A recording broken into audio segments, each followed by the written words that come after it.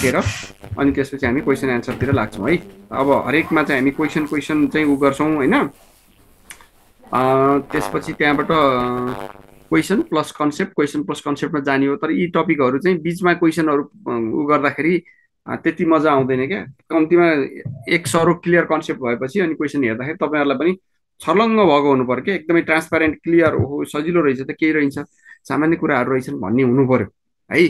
त्यसको लागि तपाईँहरूलाई मेरो टिप्स हरेक दिन कम्तीमा आफूले अघिल्लो दिन पढेको अथवा त्यो दिन रिभाइज गरेको कुरालाई यसो टिप्नी गर्नु होला है टिप्दाखेरि एकदमै बुँदागत रूपमा सम्झिने किसिमले टिप्ने धेरै भद्दा ठुल्ठुला डिफिनेसनहरू यताउता लेख्नु पर्दैन।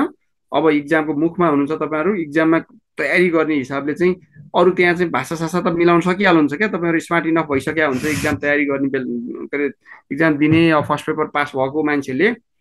तपाईँहरूले जाँच दिने बेलासम्म एकदमै क्वाइट स्मार्ट इनफ भइसक्यो हुन्छ। एउटा लामो लम्बे चौडे कुराहरू धेरै नराख्नुहोस्। टिप्दाखेरि एकदमै संक्षिप्त तरिकाले आफूले बुझ्ने आफूले त्यसलाई भिजुअलाइज गर्न सक्ने। त्यसलाई चाहिँ अलिकति इलाबोरेट गर्न सक्ने किसिमले पोइन्टहरू टिप्दै टिप्दै टिप्दै जाने हरेक टपिकका है। अनि त्यहाँबाट त्यो पोइन्टहरू टिप्दा के को पोइन्टहरू टिप्ने भन्दा पहिला त्यसकै त्यो परिभाषा परिचय त्यो के हो त? त्यसको अर्थ के? एक्चुअल चाहिँ त्यो भनेको के हो? त्यसको के इम्प्लिकेसन छ हाम्रोमा? त्यसको के उद्देश्य हो? एउटा कुरो तपाईँहरूले कहाँबाट सुरु गर्नु सक्नुहुन्छ भने हरेक टपिकमा यो नेपालमा यो टपिक अथवा हाम्रो सिलेबसमा यो टपिक किन राखा हो त? नेपालमा त्यसको इम्प्लिकेसन के छ? हाम्रो साधारण प्रशासनमा व्यवस्थापन त्यसको इम्प्लिकेसन के छ? कहाँ आउँछ त्यसको चाहिँ कहाँ जोडिन्छ? केसँग जोडिँदो रहेछ? त्यो चाहिँ सेवासँग जोडिन्छ कि जनताको विश्वाससँग जोडिन्छ कि शासनसँग जोडिन्छ कि निर्वाचनसँग जोडिने हो कि अथवा हामीले काम सम्पादन गर्ने कुरासँग जोडिने हो कि हिसाब किताबसँग जोडिने हो कि अर्थतन्त्रसँग जोडिने हो कि कहाँ हो त त्यसको इम्प्लिकेसन भने यसो त्योसँग पनि टाइअप गर्दै जानुपर्छ क्या। त्यो भयो भने तपाईँहरूलाई कतिपय यति यस्ता सजिला कुराहरू हुन्छन् जुन हामीलाई थाहा भइरहेको हुन्छ तर सही ठाउँमा के लेख्ने भन्ने कुरा त्यो थाहा भएको कुरो लेख्ने कुरा नजान्दाखेरि हामी अलमलमा पर परेका हुन्छौँ। मैले अस्ति भनेको थिएँ नि इक्जामको दुईवटा मोडालिटी हुन्छ इक्जामको क्वेसनहरूको एउटा म्याक्रो एप्रोचमा सोधिदिने तपाईँहरूलाई अलिक जेनरलिस्ट एप्रोचमा यो भनेको के हो यसमा अब सामान्य हामीले समाजमा होइन हाम्रो दैनिक जीवनमा हाम्रो चाहिँ यो घटनाक्रमहरू दैनिक घटनाक्रमहरूमा देखिरहेको भोगिरहेको सुनिरहेको कुराहरूलाई नै राखिदिँदाखेरि राम्रो एन्सर बन्ने हुन्छन् म्याक्रो एप्रोचका कुराहरू। माइक्रो लेभलमा जाने टेक्निकल कुराहरू चाहिँ अलिकति सम्झिनै पर्छ। अलिकति त्यसलाई सम्झिने अभ्यास गर्ने होइन नोट टेकिङहरू गर्ने रिभाइज गर्ने त्यो चाहिँ गर्नै पर्छ। नभए त्यो फेरि ठ्याट्टै आइपुग्दैन त्यो दिमागमा अथवा चाहिने बेलामा इक्जाम लेख्ने बेलामा त्यसरी आउँदैन। त्यो भएर कतिपय कुराहरू चाहिँ म्याक्रो एप्रोचमा जेनरल कुरा बुझेको कतिलाई चाहिँ अलिकति माइक्रो डिटेलमा त्यसको टेक्निकल पक्ष के हुन्छ भन्ने पनि सम्झिनु पर्ने बुझ्नुपर्ने हुन्छ। अब त्यो के विषयलाई कति बेला स्ट्रेस दिने भन्ने कुरा हामी यसरी नै रिभ्यू क्लासहरूमा चाहिँ छलफल गरि नै हाल्छौँ है त साथीहरू? ल अब चाहिँ सार्वजनिक व्यवस्थापनमा समन्वयको भूमिका के हो? महत्त्व के हो? समन्वय किन इम्पोर्टेन्ट छ? अथवा समन्वय भनेकै कहाँ कुरा के हो त? भन्ने कुराबाट हामी आजको सेसन सुरु गर्छौँ। है त? यो समन्वय भनेको चाहिँ चाहिँ के हो भने साथीहरू यहाँभित्रको यो कन्टेन्ट अहिले त्यहाँ नहेर्नु होला। म तपाईँहरूलाई अलिकति उ गर्छु। पहिला ब्रेन स्ट्रमिङ गर्छु। समन्वय भनेर सबैले समन्वयमा जोड दिया हुन्छन्। समन्वय भएन यताउता भनिरहेका हुन्छन्।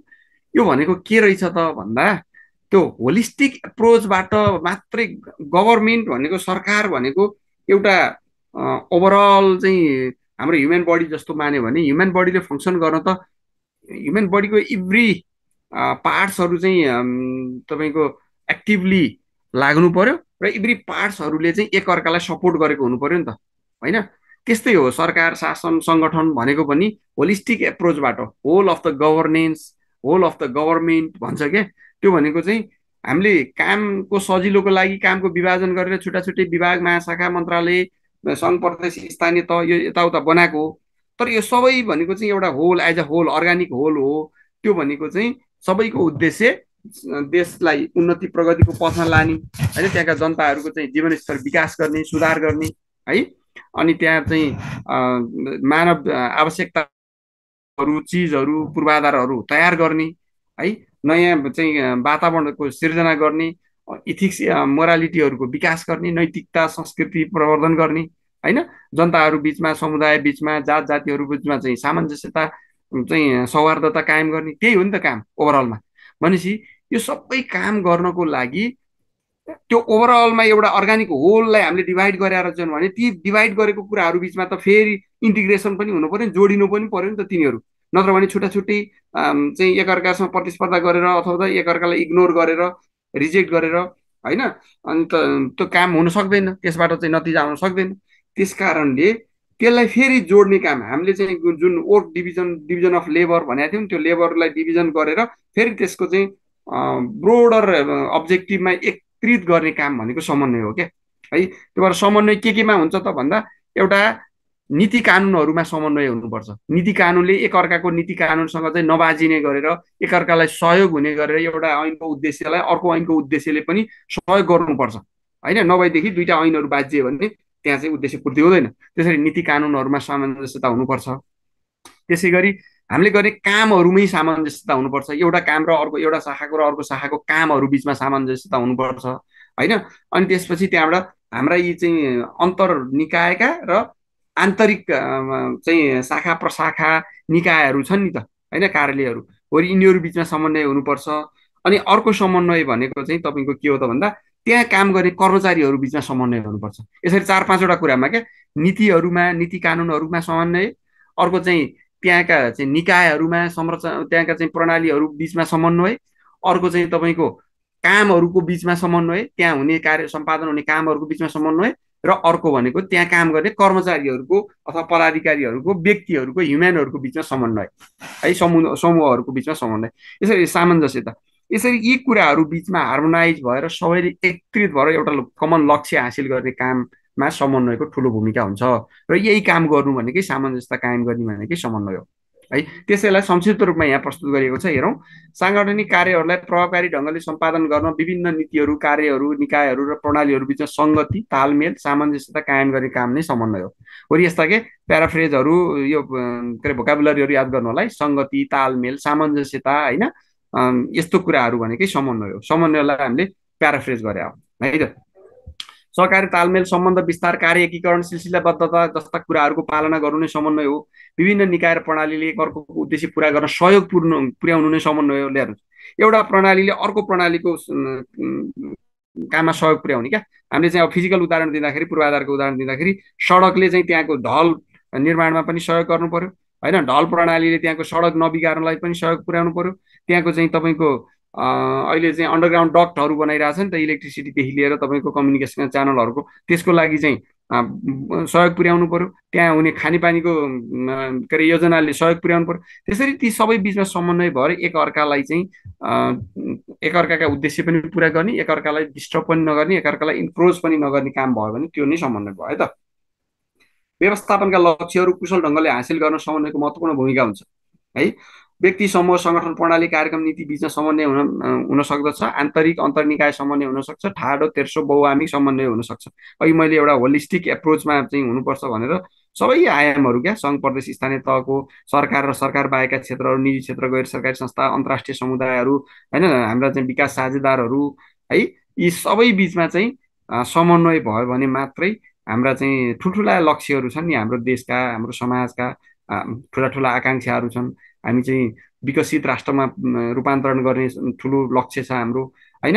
हाम्रोमा चाहिँ इथिक्स मोरालिटी नैतिकता हाम्रो उच्च संस्कार संस्कृतिलाई चाहिँ पुनर्जागरण गर्ने हाम्रो चाहिँ ठुलो लक्ष्य रहेको छ। होइन?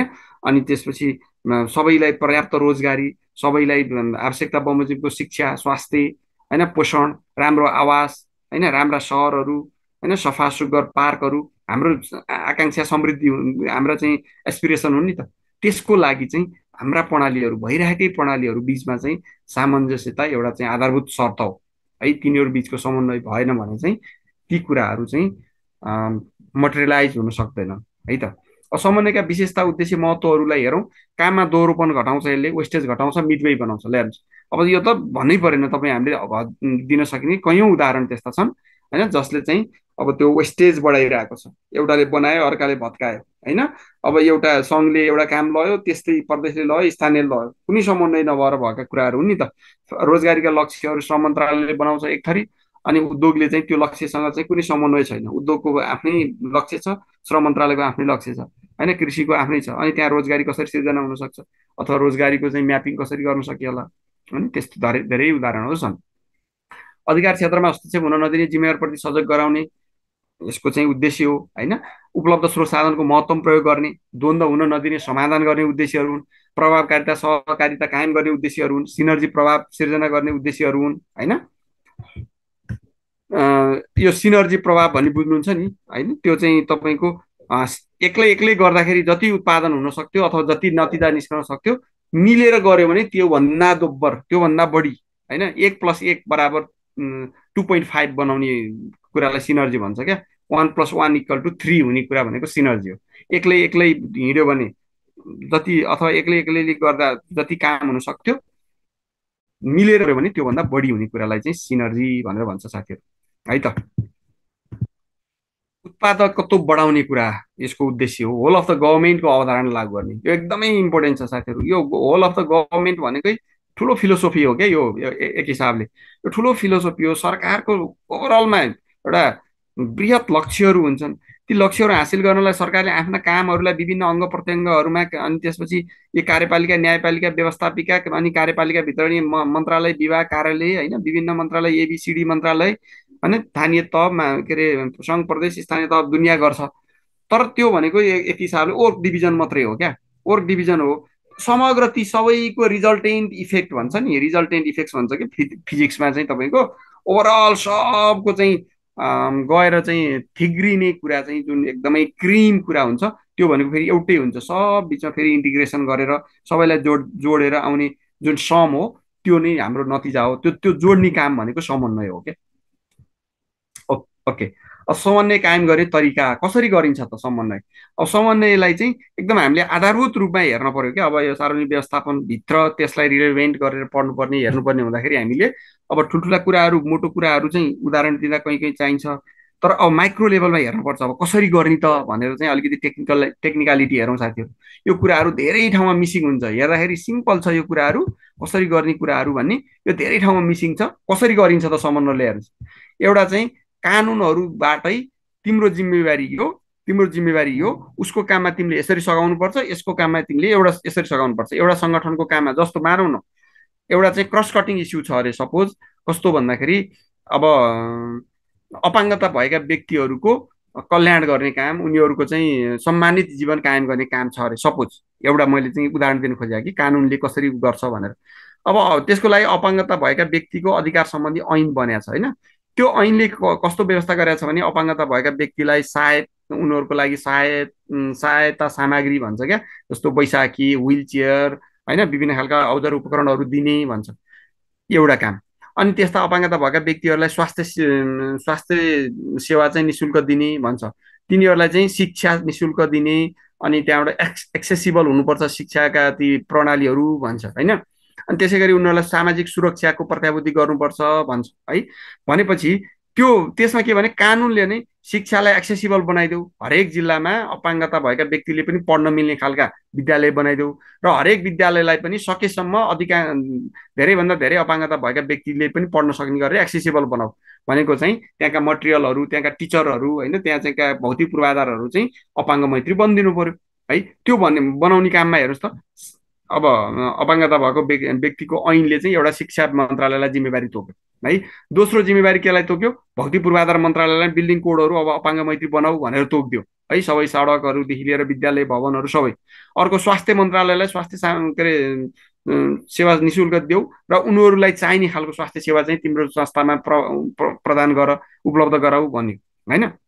अनि त्यसपछि अब सामाजिक सुरक्षाको व्यवस्थापन गर्ने काममा चाहिँ सामाजिक सुरक्षा यति देऊ यति भत्ता दिनुपर्छ। यिनीहरूको चाहिँ सामाजिक संरक्षण सामाजिक सुरक्षालाई भनेर अर्को मन्त्रालयलाई जिम्मेवारी कि स्थानीय तह र गृह मन्त्रालयलाई सपोज होइन? अनि यो सबैको लागि स्रोत साधन जुटाउ भने अर्थ मन्त्रालय भन्नु भनेपछि एउटा कानुनले एउटा ऐनले कति धेरै निकायहरू बिचमा जिम्मेवारी तोकेर समन्वय गरेपछि अनि बल्ल त्यो अपाङ्गता भएका व्यक्तिले चाहिँ आफ्नो जीवनलाई डिग्निफाइड बनाउनलाई चाहिँ सेवा पाउँदो रहेछन् त। बुझ्नुभयो? सबैको लक्ष्य भनेको त्यो अपाङ्गता भएको व्यक्तिलाई एउटा चाहिँ डिग्निफाइड लाइफ संविधानले भनेको एज ए ह्युमन राइट्सको रूपमा दिने हो। तर त्यो दिनलाई कति धेरै निकायहरू मिलेर काम गरिदियो भने मात्रै उसले पाउँदो रहेछ नत्र पाउँदो रहेछ। होइन? भनेको समन्वय भनेको त्यस्तो हो क्या। त्यसलाई चाहिँ कानुनले नीतिले होइन बाट नै गाइड गरिएको हुन्छ क्या। एउटा समन्वयको तरिका भनेको त्यो रहेछ। दोस्रो चाहिँ सङ्गठनको कार्य जिम्मेवारी तोकेर होइन? कुन कुन सङ्गठनले के के काम गर्ने भन्ने जिम्मेवारी तोकेर त्यो अनि त्यसै गरी कार्यविधिको निर्माण गरेर कार्यविधि चाहिँ अब कसरी समन्वय गर्नुपर्छ? तिमीहरूले काम गर्दाखेरि कसको राय सल्लाह सल्लाह सुझाव दिने कोसँग चाहिँ परामर्श लिने अनि बल्ल निर्णय गर्ने भने जस्ता कार्यविधिहरू बनाएर। अनि सहजकर्ता मध्यस्थकर्ता तोकेर ती निकायहरू बिचमा समन्वय गर्नलाई सहजकर्ता मध्यस्थकर्ताहरू तोकेर ल एकअर्काका राय सल्लाह सुझाव उनीहरूका विचार दृष्टिकोण कार्यक्रम कार्ययोजनाहरू के छन् हेरेर तिनीहरूमा चाहिँ डिरेल हुन नदिने नदिने तिम्रो काम भयो जिम्मेवारी तोकेर यसरी। पारदर्शिता सञ्चार सम्बन्ध विस्तार गरेर कुराकानी गरेर सचिवहरूको बिचमा त्यहाँका शाखा महाशाखाहरूले अर्को शा मन्त्रालयको शाखा महाशाखा त्यहाँका कर्मचारीहरू बिचमा सञ्चार कायम गरेर बैठकहरू बसेर त्यसरी होइन? त्यसै गरी सम्पर्क अधिकारी इकाइ शाखाहरू किटान गरेर समन्वय नै गर्नुपर्छ भनेरै हामीले चाहिँ समन्वय शाखाहरू राखेका हुन्छौँ क्या मन्त्रालयहरूमा। समन्वय शाखा नै उनीहरूको जिम्मेवारी भनेकै यस्ता नीतिगत कुरा कार्यक्रमगत कुरा होइन? त्यसपछि त्यहाँबाट अन्य कार्यविधिगत कुराहरूमा चाहिँ समन्वय कायम गर्न भनेर राखेका हुन्छ। त्यस्तो गरेर अर्को चाहिँ उपल्लो निकायबाट निर्देशन सल्लाह सुझाव हस्तक्षेप गरेर जस्तो प्रधानमन्त्रीले तल मन्त्रालयहरूको बिचमा झगडा भयो भने प्रधानमन्त्रीले हस्तक्षेप गर्ने संसदले संसदीय समितिले हस्तक्षेप गर्ने त्यहाँबाट निर्देशनहरू दिने तिमीहरूले दायाँ बायाँ नगर यो काम तिम्रो हो यो काम तिम्रो हो यसरी मिलेर गर भनेर यसरी दिन्छ। त्यसै गरी कार्य कार्यदल समितिहरू गठन गरेर पनि हामी समन्वय कायम गरिन्छ। है? त्यसै गरी परिषद आयोगहरू गठन गरेर समन्वय गरिन्छ नियमित बैठक अन्तर्क्रियाबाट समन्वय किनभने बैठकको उद्देश्य भनेको नि एउटा चाहिँ प्रमुख उद्देश्य चाहिँ समन्वय गर्ने हो। है विभिन्न क्षेत्रका मान्छेहरूलाई बोलाएर ल हाम्रो लक्ष्य हाम्रो काम चाहिँ यो हो। तिमीहरू सबैको चाहिँ चाहिँ यसमा राय प्रतिक्रिया सल्लाह सुझाव पृष्ठपोषण के दिनु अनि त्यसको आधारमा काम अगाडि बढ्छ। भनेर सबैलाई माइनिटिङ गर्न लगाएर सबैलाई सही छाप्लो गर्न लगाएपछि पछि कसैले चाहिँ दायाँ बायाँ गर्न पाएन। अनि समन्वयात्मक ढङ्गले काम अगाडि बढ्यो। यसरी चाहिँ समन्वय गरिन्छ भने समन्वयका तरिकाहरू समन्वय कायम गर्ने विधि होइन? अनि नेपालमा समन्वय कसरी हुने गरेको छ कस्तो प्रावधानहरू छ समन्वयको लागि भनेर सोद्धाखेरि यी कुराहरू राख्नु पर्यो है त? अब समन्वयका समस्याहरू के हुन् त? समन्वय कायम गर्ने का सम्बन्धी समस्याहरू के हुन् त भन्दा राज्यका तिन तहका सरकार बिचमा कार्यक्रम होइन? योजनामा दोहोरोपना हुनु सम समन्वयका समस्याहरू है? अब जति माथिका व्यवस्थाहरू भए पनि ती व्यवस्था चाहिँ त्यो व्यवस्थामै सीमित छन् अवस्था परिवर्तन गर्न सफिसियन्ट भएनन्। त्यस कारणले गर्दाखेरि हाम्रोमा दोहोरोपना बढिरहेछ होइन समन्वय छैन एकअर्का बिचमा सञ्चार छैन एकअर्का बिचका कार्यक्रमहरू बिचमा तालमेल छैन डुप्लिकेसन छ रिडन्डेन्सी छ वेस्टेज छ। है त्यो फेरि हाम्रो रियालिटी हो। समन्वय त्यति महत्त्वपूर्ण रहेछ त्यति धेरै तरिकाले गर्न सकिँदो रहेछ त्यति धेरै प्रावधानहरू पनि छन् रहेछन्। तर हामीले त्यसलाई रियालिटीमा ट्रान्सलेट गर्न सकिएन। त्यसले गर्दाखेरि हाम्रो ट्रान्सफर्मेसनका कामहरू अगाडि बढ्न सकेन। है त? यी चाहिँ समस्या हुन्। यसरी दोहोरो बनाउनु एउटा। दोस्रो राजस्वको अनुचित खर्च बढ्नु। है? अब तपाईँहरूले नोट टेकिङ गर्दाखेरि यस्तै यस्तै छोटो छोटो बनाएर अझै के गर्ने गर्छ भने अब दोहोरोपना मात्रै भन्दा पनि तपाईँहरूलाई भिजुअलाइज हुन परिहाल्यो क्या दोहोरोपना भन्ने बित्तिकै राज्यका तिन तहका सरकार बिचमा दोहोरोपना छ। राज्यका एउटै सरकारका पनि विभिन्न निकायहरू बिचमा पनि दोहोरोपना छ। होइन? अनि विभिन्न आयोजनाहरू बिचमा पनि दोहोरोपना छ।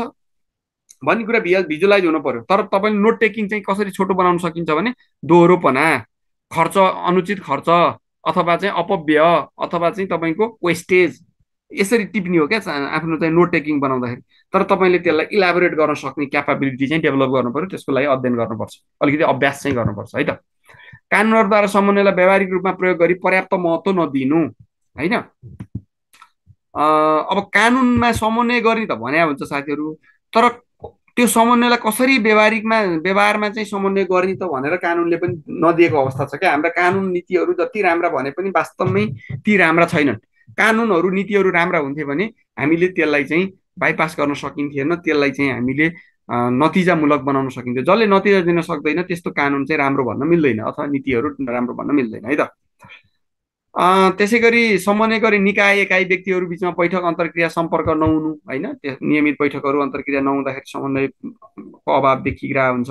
विद्यमान प्रावधानहरूको कार्यान्वयन नहुनु। अहिले भइरहेकै समन्वयका प्रावधानहरू जे जति छन् तिनीहरूलाई पनि सही ढङ्गले पालना नहुनु अर्को समस्या हो। समन्वय नगर्दाको क्षतिप्रति उत्तरदायी नबनाइनु। भनेपछि समन्वय नहुँदाखेरि कसरी चाहिँ रिसोर्स वेस्टेज भइरहेछ कसरी नतिजा निस्किरहेको छैन त्यसको लागि तिमीले समन्वय नगरेर हुँदाखेरि यो भएको भनेर चाहिँ त्यहाँका जिम्मेवार व्यक्तिहरूलाई उत्तरदायी बनाउने कानुन भइदिएको भए अब अनिवार्य समन्वय हुन्थ्यो कि? होइन? शिक्षाको राय बिना चाहिँ पर्यटनले काम गर्थेन होला होइन? पर्यटनको राय बिना चाहिँ उद्योगले काम गर्थेन होला है? दुईजना दुईवटा निकायहरू नमिलिकन काम हुन्थेन होला यदि चाहिँ तिमीहरूले समन्वय नगरिकन काम गर्यौ भने र त्यसबाट घाटा भयो भने राज्यको राज्य स्रोतको घाटा भयो भने तिमीहरू जिम्मेवार हुन्छौ भन्ने कुराहरू तोकिदिनु पऱ्यो नि त। त्यस्तो नहुँदाखेरि त्यस्तो भइरहेछ। समन्वय अभाव भइरहेछ होइन समस्यामा। त्यसरी पारदर्शी समूहगत कार्य संस्कृतिको अभाव हुनु जिम्मेवारी पन्छाउने जस लिने प्रवृत्ति रहनु आफ्नो जिम्मेवारी चाहिँ पन्छाउने केही राम्रो भइहाल्यो भने फेरि जस लिन दौडिने होइन? समन्वयका संयन्त्र र पद्धतिहरू फितला हुनु। हाम्रा जे जस्ता पद्धतिहरू छन् समन्वय शाखा भन्छौँ महाशाखा हुन्छन् त्यसैले कम के अरे न्यून महत्त्व पाइरहेको हुन्छ होइन? हाम्रो चाहिँ एकदम सफ्ट लाइनर प्रब्लममा चाहिँ एउटा समन्वयको अर्को अनुगमन मूल्याङ्कनको प्रब्लम भन्छ क्या साथीहरू। है समन्वय पनि छँदै छैन। सबै मन्त्रालयहरूको सचिवहरू आफै आफै ठुल्ठुलो ठान्ने आफूले आफूलाई मन्त्रीले आफूले आफूलाई ठुलो ठान्ने होइन? उसको जिम्मे उसको प्रगति हुँदा मेरो पनि प्रगति भनेर एक मन्त्रालयले अर्को मन्त्रालयलाई नदेख्ने। यो प्रवृत्ति एकदमै ठुलो विकराल छ। अर्को भनेको अनुगमन मूल्याङ्कन पनि ध्वस्त छ। त्यस कारणले गर्दाखेरि गुणस्तरहरू एकदमै कमसल हुनुमा चाहिँ अनुगमन मूल्याङ्कनको समस्या हो। त्यस कारण समन्वय अनुगमन र मूल्याङ्कन चाहिँ हाम्रो ब्युरोप्याथोलोजीको लागि ब्युरोप्याथ ब्युरोप्याथिक ब्युरोप्याथिक प्रब्लमको लागि म यसको चाहिँ ठुलो भूमिका छ। है त? समन्वयका संयन्त्र र पद्धतिहरू फितला हुने भयो। अब सैद्धान्तिक हिसाबमा समन्वयका कुराहरूलाई यसो चर्चा गरौँ। जस्तो समन्वयका सिद्धान्तमा एउटा होल अफ द गभर्मेन्टको सिद्धान्त अघि नै भनियो सरकार आफैमा शासन गर्ने सरकारले शासन सञ्चालन गर्ने आफैमा एउटा पूर्ण काम हो के? पूर्ण काम हो।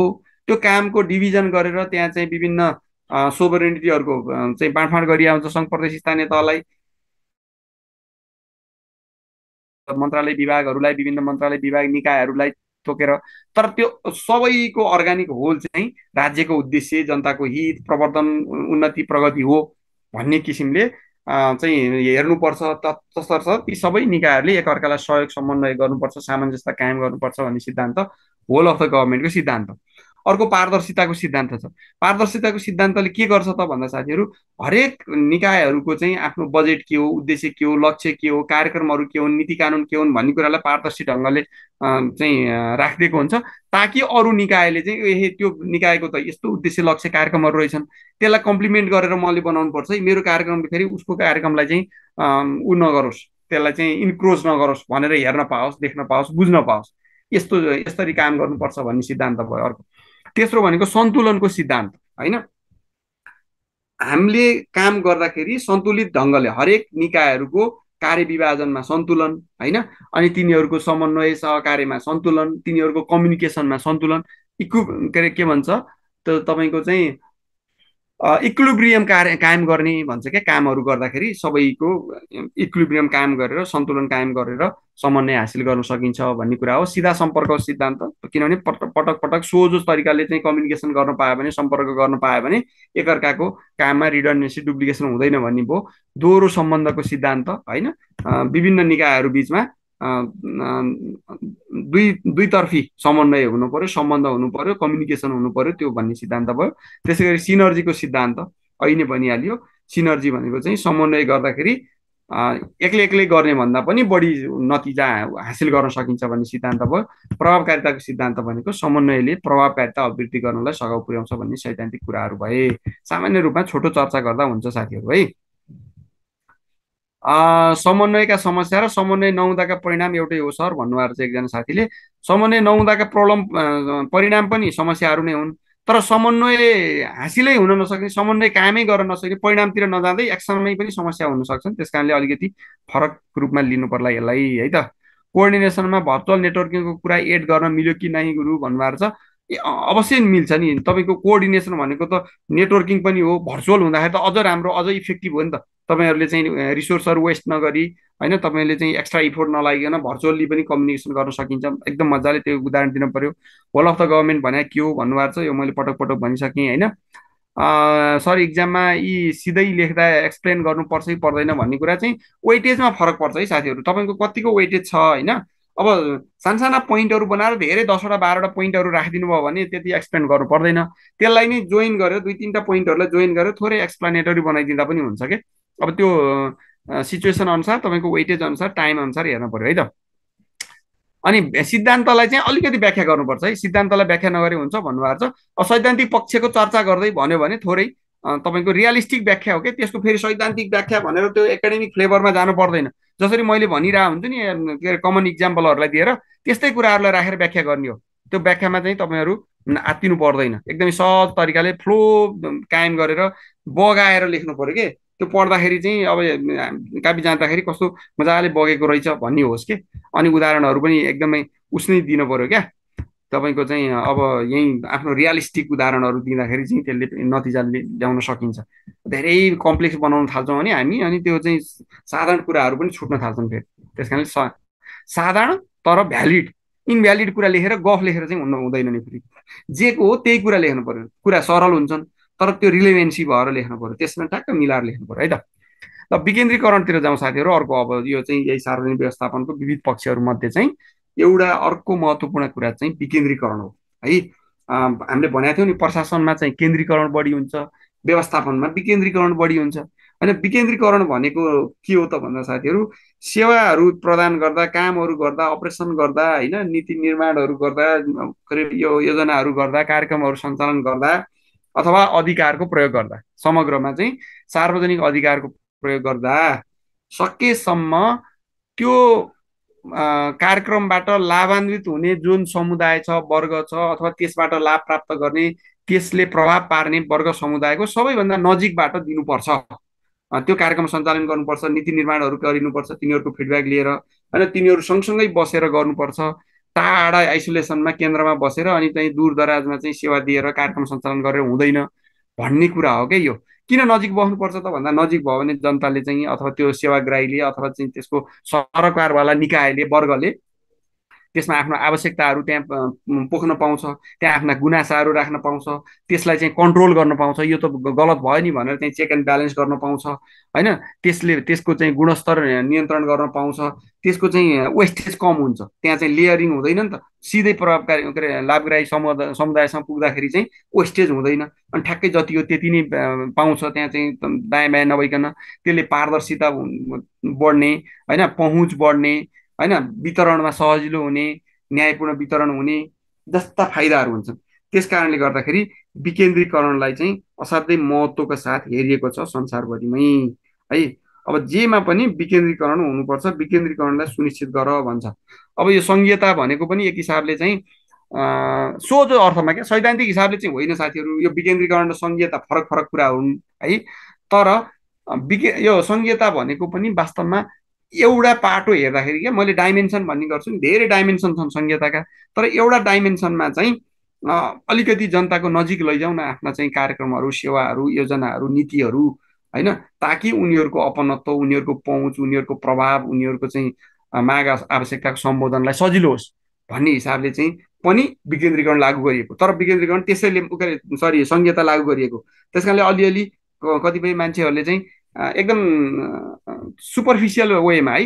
एकदम साधारण अर्थमा चाहिँ सङ्घीयता पनि विकेन्द्रीकरण जस्तै त हो नि भनेर भन्छन्। त्यसमा केही सत्यता त छ। तर फेरि त्यसलाई फिलोसोफिकल त्यसको गहिरिएर अन्य आयामहरूलाई चाहिँ नजरअन्दाज गर्न मिल्दैन। सङ्घीयताका धेरै आयामहरू छन् फेरि। सङ्घीयता किन चाहियो यताउता भन्ने कुरामा? हामीले चाहिँ यो विकेन्द्रीकरण आएको भएर मैले त्यसको चाहिँ अलिकति रिलेभेन्सी मात्रै तपाईँहरूलाई राख्न चाहेको साथीहरू है त? ल अब जाउँ। अब त्यो तपाईँहरूको ब्रेन स्ट्रमिङ भयो। अब हेरौँ हाम्रो टेक्स्टमा सरकार सञ्चालन वा सार्वजनिक कार्य सञ्चालन गर्दा केन्द्रीकृत वा विकेन्द्रीकृत ढाँचामा गरिन्छ। तथापि साथीहरू एफ्टर अल फेरि है हामीले विकेन्द्रीकरण पढ्दा विकेन्द्रीकरणै राम्रो भनेर पढ्नुपर्छ। तर केन्द्रीकरण आफैमा फेरि केन्द्रीकरण नराम्रो पनि होइन क्या। आवश्यकता अनुसार अवस्था अनुसार देशको समाजको आवश्यकता अनुसार चाहिँ केन्द्रीकरण विकेन्द्रीकरण दुइटै लागू गर्न पर्न सक्छ। है? त्यस कारणले केही फाइदाहरू केन्द्रीकरणका छन् केही फाइदाहरू विकेन्द्रीकरणका छन्। मैले भने अवस्था आवश्यकता अनुसार हुन्छ। तथापि एज इन जेनरल होइन विकासका कामहरूमा नीति निर्माणका कामहरूमा शासन सञ्चालनका कामहरूमा अधिकांश कामहरूमा विकेन्द्रीकरण बढी प्रभावकारी पाइएको छ संसारभरि नै है त? केन्द्रमा निहित कार्य जिम्मेवारी अधिकार कर्तव्य र दायित्वलाई कानुन बमोजिम मातहतका निकाय स्थानीय निकाय वा सम्बन्धित निकाय वा अधिकारीमा हस्तान्तरण गरी कार्य सञ्चालन गर्नु विकेन्द्रीकरण हो। होइन केन्द्रको अधिकार चाहिँ आफूभन्दा तलका मातहतका निकायहरूलाई दिने कुरा भयो। विकेन्द्रीकरणका स्वरूपमा राजनीतिक प्रशासनिक बजार विकेन्द्रीकरणहरू विकेन्द्रीकरणलाई लागू गर्दा विभिन्न तरिकाले गरिन्छ। त्यसमा चाहिँ डिभोल्युसन डेलिगेसन होइन डिकन्सन्ट्रेसन प्राइभेटाइजेसन जस्ता कुराहरू पर्छन्। डिभोल्युसन र डेलिगेसन हामी त इमिडिएटली पढ्छौँ। डिकन्सन्ट्रेसन भनेको चाहिँ साथीहरू आफ्ना चाहिँ सेवा इकाइहरू सेवा कार्यालयहरू चाहिँ धेरै ठाउँमा खोलेर होइन एउटा कन्सन्ट्रेटेड भएको कामलाई चाहिँ त्यसलाई फिजारेर काम गर्ने कुरालाई डिकन्सन्ट्रेसन भनिन्छ होइन। एकै ठाउँमा चाहिँ बाट चाहिँ कन्सन्ट्रेट भएर बसेको चाहिँ अब फिजिक्सको स्टुडेन्ट हुनुहुन्छ भने हरेक अब्जेक्टको सेन्टर अफ मास भन्छ क्या?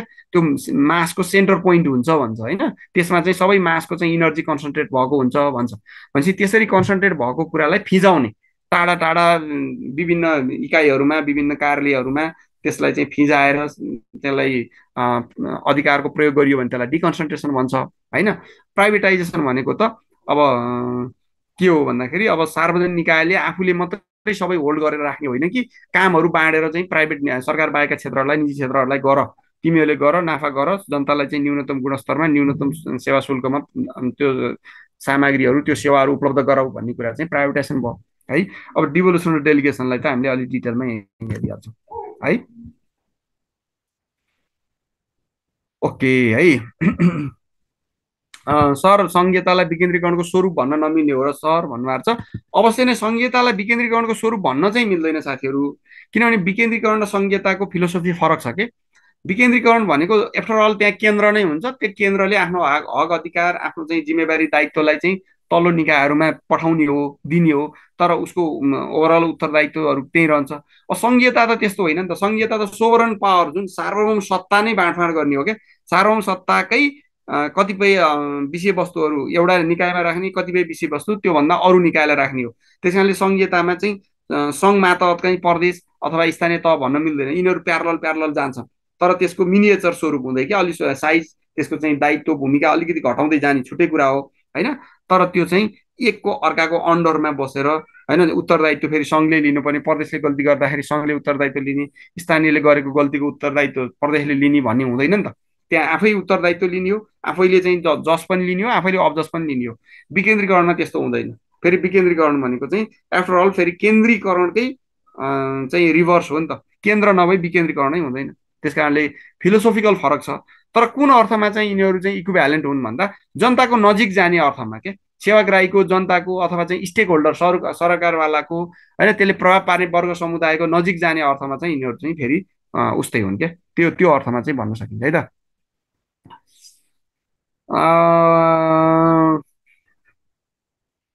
अब विकेन्द्रीकरणको उदाहरण चाहिँ जिप्रकाबाट राजधानी वितरण गर्ने कुराहरू भन्नुभएको छ। अवश्य नै त्यसमा चाहिँ डेलिगेसन गरेर के अधिकारहरू डेलिगेट डेलिगेसन गरेर जिल्ला प्रशासन कार्यालयलाई राजधानी बाँध्ने अधिकार दिया हुन्छ त्यसलाई मिल्छ होइन? अब विकेन्द्रीकरण संहितामा कुन चाहिँ ब्रोडर ब्रोडर हो सर भन्नुभएको छ? अब ब्रोडर कुन सेन्समा भनियो कि? यसमा वास्तवमा भन्दाखेरि हामीले डिपली हेऱ्यो भने अब यो विकेन्द्रीकरण सङ्घीयता आएको भएर यसलाई सङ्घीयतालाई अलिकति राम्ररी नै अध्ययन गरेको जस्तो अलि अलि अन्डरस्ट्यान्डिङमा गरेको जस्तो लाग्छ मेरो पर्सनल ओपिनियन साथीहरू म आफैले पनि होइन? त्यस कारणले विकेन्द्रीकरण र सङ्घीयता वास्तवमा कम्पेरेबल कुरा होइनन् क्या। सङ्घीयताभित्रका निकायहरूमा पनि विकेन्द्रीकरण चाहिन्छ कि? जस्तो प्रदेशले त्यो प्रदेशको राजधानीमा मात्रै राखेर सबै अधिकारहरू आफ्नो कामहरू सञ्चालन गर्न सक्छ र त्यसले पनि विकेन्द्रीकरण गर्नुपर्छ क्या त्यहाँभित्र पनि। है त्यहाँभित्र पनि प्रदेशका मन्त्रालयहरूले पनि विकेन्द्रीकरण गरेर तल निकायहरूलाई दिनुपर्छ। आफै प्रदेशभित्रकै निकायहरूलाई होइन त्यहाँ पनि कार्यालयहरूलाई त्यहाँ आफ्ना चाहिँ एकाइहरूलाई अधिकार दिनुपर्छ। त्यस कारणले सङ्घीयताका एकाइहरू बिचमा पनि विकेन्द्रीकरण हुन्छ त्यहाँभित्र पनि। त्यस कारण यी दुईवटा चाहिँ कुन ब्रोडर हो अथवा कुन चाहिँ कम्पेरेबल हो भन्ने कुरा चाहिँ अलिकति रिलेभेन्ट हुन्न। यिनीहरू छुट्टा छुट्टै प्यारल फिलोसफीहरू हुन् छुट्टा छुट्टै फिलोसफी हुन् क्या यिनीहरू। एउटै मात्रै यिनीहरूको चाहिँ मैले भने नि मिटिङ पोइन्ट भनेको होइन नजिकबाट बढी प्रभावकारी ढङ्गले पारदर्शी ढङ्गले स्वायत्त ढङ्गले सेवा सुविधाहरू प्रवाह गर्ने भन्ने कुराहरू चाहिँ यिनीहरूमा मिटिङ पोइन्ट यिनीहरूको चाहिँ कम्पेरेबल कुरा चाहिँ हो है? ओके ल। अब अधिकार प्रत्यायोजनलाई हेरौँ है? अब यो विकेन्द्रीकरण माथि भयो विकेन्द्रीकरणका टाइप्स अन्तर्गत अधिकार प्रत्यायोजन अधिकार निक्षेपण दुईवटा टाइप्स भन्नुभयो है? साथीहरू अब पहिलो टाइप चाहिँ अधिकार प्रत्यायोजन। अधिकार प्रत्यायोजन भनेको चाहिँ अलिक कमजोर खालको विकेन्द्रीकरण हो साथीहरू। है। विकेन्द्रीकरणको अलिक कमजोर स्वरूप अधिकार प्रत्यायोजन हो। यसमा के हुन्छ भने कानुनले कुनै अधिकारीलाई कुनै निकायलाई तिमीले यो जिम्मेवारी पाएका छौ यो अधिकार पाएका छौ यो स्रोत साधन पाएका छौ तिमीले यस्तो यस्तो कार्य सम्पादन गर्नुपर्छ भनेर तोक्या हुन्छ? त्यो तोकेको कुरालाई त्यो अधिकारीले अथवा त्यो निकायले त्यो केन्द्रीकृत निकाय केन्द्रले अथवा त्यो अधिकारीले अथवा त्यो निकायले आफू मातहतका कर्मचारीलाई अथवा निकायलाई आफूले निर्णय गरेर होइन? निर्णय गर्ने तरिका के हो भनेर त कानुनले भनिदिन्छ। होइन? कस्तो कस्तो कुरा चाहिँ तिमीले अधिकार प्रत्यायोजन गर्न सक्छौ? गर्न पर्छ होइन कि गर्न सक्छौ भनेर चाहिँ कानुनले भनिदिया हुन्छ होइन? त्यो कानुन बमोजिम निर्णय गरेर आफू मातहतका अधिकारीलाई दिइयो त्यो काम अधिकार जिम्मेवारी स्रोत साधन भने त्यसलाई चाहिँ अधिकार प्रत्यायोजन भनिन्छ। है? सर्टकटमा बुझ्दाखेरि साथीहरू अब मानौ न एकजना सचिवले उदाहरण दिउँ एउटा। सचिवलाई कार्य जिम्मेवारीहरू स्रोत साधनहरू अधिकार र जिम्मेवारीहरू उत्तरदायित्व तोक्या हुन्छ। त्यसलाई सचिवले आफ्नो मातहतको सहसचिवलाई अथवा अरू कुनै कर्मचारीलाई यो मेरो अधिकार चाहिँ तिमीलाई निर्णय गर्नलाई तिमीले प्रयोग गर्नलाई त्यो प्रयोग गरेर यो उद्देश्य हासिल गर्नलाई दिएको छु होइन? तिमीले यसलाई मिसयुज नगरी सही प्रभावकारी ढङ्गले काम गर भनेर त्यसरी दियो भने त्यसलाई चाहिँ अधिकार प्रत्यायोजन भनेर भन्छौँ। अथवा कुनै मन्त्रालयले आफूले गर्ने पर्ने काम कुनै एउटा कार्यालयलाई आफू मातहतका कार्यालयलाई ल तिमीले यो मन्त्रालयको काम भए पनि तिमीले काम गर तिमीले यो योजना सञ्चालन गर। योजना सञ्चालन गर्ने काम चाहिँ मन्त्रालयको थियो तर मन्त्रालयले मैले भन्दा मेरो कार्यालयले सञ्चालन गर्दा प्रभावकारी हुने भयो भन्ने सोचेर त्यसरी निर्णय गरेर दियो भने चाहिँ त्यसलाई अधिकार प्रत्यायोजन भनिन्छ। यहाँ चाहिँ निर्णयलाई मैले हाइलाइट गरेको छु याद गर्नु होला साथीहरू।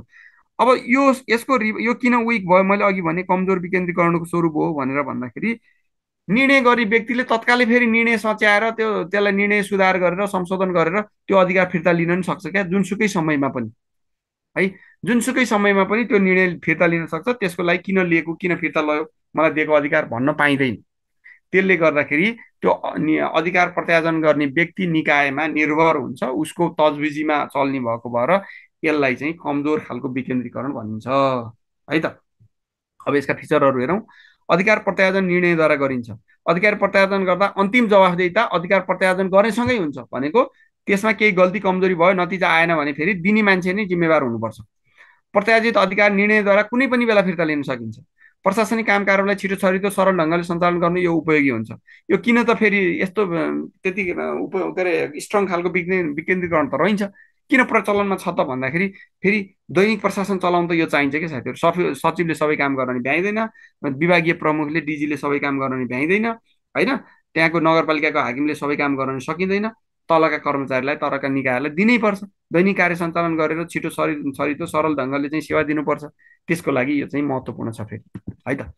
नेतृत्व विकास गर्न स्वाभाविक कार्य प्रणाली स्थापना गर्न माथिल्लो निकायको कार्यबोझ घटाउन योग्यताको कदर गर्न प्रत्यायोजन सहयोगी हुन्छ। यो बुझिन्छ नै होला। होइन? प्रत्यायोजित अधिकार पुनः प्रत्यायोजन गर्न मिल्दैन भने कानुनद्वारा किटान गरी कुनै पदाधिकारीलाई नै गर्नुपर्ने भनिएका अधिकारहरू प्रत्यायोजित हुँदैनन्। कानुनले फेरि यसलाई तिमीले अन्त कसैलाई दिन पर् मिल्दैन अथवा तिमीले नै निर्णय गर्नुपर्छ अरू कसैले निर्णय गर्नु पाउँदैन भनेको कुरा चाहिँ प्रत्यायोजन गर्न मिल्दैन। डबल डेलिगेसन पनि हुँदैन। कानुनले नै किटान गरेको कुरालाई चाहिँ पनि पठाउन मिल्दैन निर्णय गर्न पाइँदैन। जस्तै न्याय निरूपणको कार्य चाहिँ तल डेलिगेट गर्न मिल्दैन क्या। है? न्याय निरूपणको कार्य चाहिँ न्यायाधीशले चाहिँ म मेरो मातहतका कर्मचारी श्रेष्ठताहरूलाई दिन्छु भन्न मिलेन। पुनरावेदन गर्ने दण्ड सजाय पुरस्कार गर्ने जस्ता कुराहरू चाहिँ प्रत्यायोजन गर्न मिल्दैन। है त? ओके। है कायम मुकायम तथा निमित्त पनि अधिकार प्रत्यायोजन नै होइन सर भन्नुभएको छ। यस्तो हो साथीहरू अधिकार प्रत्यायोजन चाहिँ हो होइन? तर अब कायम मुकायममा कस्तो हुन्छ भने त्यो कानुनले नै व्यवस्था गरिदिया हुन्छ क्या कामुलाई पनि दिने यो कामहरू चाहिँ गर्न दिने मिल्ने भनेर। अब त्यसलाई विकेन्द्रीकरणको स्वरूप प्रत्यायोजनको एउटा सामान्य स्वरूप भन्न मिल्छ तर उदाहरण दिँदाखेरि यसलाई भन्दा अरू कुराहरूलाई दिँदा बेटर होला है? ल अब अधिकार निक्षेपण हेरौँ है त। कानुनद्वारा व्यवस्था गरेर केन्द्रमा केन्द्र सरकारमा रहेको शासकीय र प्रशासकीय अधिकार तल्ला तलका सरकारी स्थानीय तह निकायमा दीर्घकालीन र थायी रूपमा हस्तान्तरण गर्ने अधिकार निक्षेपण हो। हेर्नुहोस् है साथीहरू। अब निक्षेपणको ऊ गर्नुहोस् है। निक्षेपणलाई म्यापिङ गर्नुहोस् है। यो इक्जाममा आउन सक्छ है आएको पनि छ क्वेसन यो। अधिकार प्रत्यायोजन निक्षेपणको क्वेसन आएको छ है हन्ड्रेड पर्सेन्ट छ आउन पनि सक्छ। यसको चाहिँ तपाईँहरूको क्लियर कन्सेप्ट हुनुपर्छ। पक्कै नै छ होला भएकोलाई रिभाइज हुन्छ नभएकोले बुझ्नु होला है साथीहरू। अब माथि चाहिँ प्रत्यायोजनमा के थियो? अलिक कमजोर खालको विकेन्द्रीकरण थियो। तपाईँले निर्णयद्वारा गर्न मिल्थ्यो फिर्ता लिन पनि पाइन्थ्यो फेरि सबै कुरा दिन पनि पाइन्थेन भन्ने कुरा थियो होइन? अब निक्षेपण भनेको चाहिँ के हो त भन्दा अनि माथिल्लो चाहिँ अलि बढी पोलिटिकल टाइपको डिसेन्ट्रलाइजेसन पनि भन्छ। के अरे एडमिनिस्ट्रेटिभ टाइपको डिसेन्ट्रलाइजेसन पनि भन्छ क्या निक्षेपण के अरे प्रत्यायोजनलाई है? तर निक्षेपणलाई चाहिँ यो थायी रूपको दीर्घकालीन होइन? अनि त्यसपछि तल तका सरकार स्थानीय तहहरूलाई दिने है? अनि त्यसपछि त्यहाँबाट तपाईँको चाहिँ कानुनले नै व्यवस्था गरेर थायी रूपमा हस्तान्तरण गर्ने। कानुनले अब माथिल्लोमा के थियो भने दिन पनि पाइन्छ नदिन पनि पाइन्छ भनेर चाहिँ सकिने कुरा राखेको थियो। यसमा तिम्रै हो दायित्व तलैकै निकायले गर्ने हो भनेर कानुनले तोकिदिया हुन्छ। यसमा चाहिँ अप्सन भन्ने हुँदैन। यो अप्सनल हुँदैन। यसमा नदिन पाइँदैन। निक्षेपणमा अनिवार्य रूपमा अधिकार तल दिएकै हुनुपर्छ। हस्तान्तरण भएकै हुनुपर्छ। है त? यो फरक हो। त्यस कारणले यो चाहिँ अलि स्थायी प्रकृतिको अलि स्ट्रङ खालको चाहिँ डिसेन्ट्रलाइजेसन विकेन्द्रीकरण हो। है त? तल्लाई शासकीय इकाइमा स्वायत्तता निर्णय अधिकारको सुनिश्चितता गरिएको हुन्छ ल्याएर स्वायत्त भएर उनीहरूले निर्णय गरेर आफ्नो काम कारवाही सञ्चालन गर्न पाउँछन्। त्यो भनेको चाहिँ हाम्रो हाम्रो यो संहिता लागू गर्नुभन्दा अगाडिको स्थानीय तह र केन्द्र सरकारको चाहिँ बिचको सम्बन्ध चाहिँ अधिकार निक्षेपणको सम्बन्ध थियो क्या डिभोल्युसनको सम्बन्ध थियो। के थियो भने केन्द्रले कतिपय कुराहरूमा त कन्ट्रोल गर्न सक्थ्यो साथीहरू। तथापि स्थानीय स्वायत्त शासन ऐन भनेर एउटा दुई हजार पचपन्न सालमा स्थानीय स्वायत्त शासन ऐन बनाइएको थियो त्यति बेला। त्यो शासन ऐनले यी यी कार्य कामहरू यी जिम्मेवारीहरू यी चाहिँ स्रोत साधनहरू स्थानीय तहकै हुन् त्यति बेलाका स्थानीय निकायका हुन् होइन गाविस र नगरपालिका थिए। अनि तिनीहरूले चाहिँ स्वायत्त ढङ्गले स्वायत्त भनेको चाहिँ आफैले निर्णय गर्न सक्ने आत्मनिर्णय के अरे मतलब स्वायत्तताको अधिकार थियो क्या उनीहरूलाई? स्वायत्त ढङ्गले कसैको प्रभाव दबाव बिना नै निर्णय गरेर प्रचलन गर्न सकिन्छ भन्ने अवस्था थियो। त्यसलाई चाहिँ अधिकार निक्षेप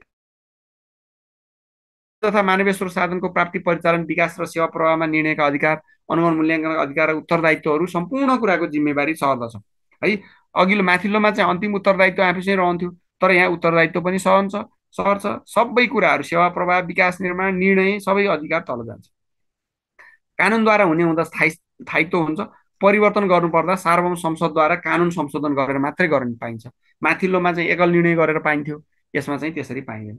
विकेन्द्रीकरण सबैभन्दा प्रभावकारी माध्यम निक्षेपण हो। त्यसैले अधिकार निक्षेपणले स्थानीय सेवा प्रभावमा प्रभावकारिता जनताको सहभागिता स्वामित्व अभिव्यक्त गर्न सघाउँछ। त्यसै गरी स्थानीय समस्याको उचित सम्बोधन गर्न सुशासनको कुशल परिचालन गर्न भ्रष्टाचार नियन्त्रण गर्न द्वन्द्व व्यवस्थापन गर्न अनुगमन मूल्याङ्कन र नियमनलाई प्रभावकारी बनाउन उपयोगी हुन्छ।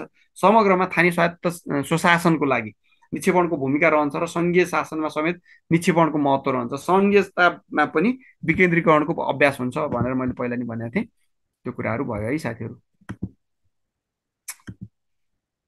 अब के छ त भन्दा साथीहरू अर्को टपिक छ हाम्रो सुपरिवेक्षण अनुगमन र मूल्याङ्कन।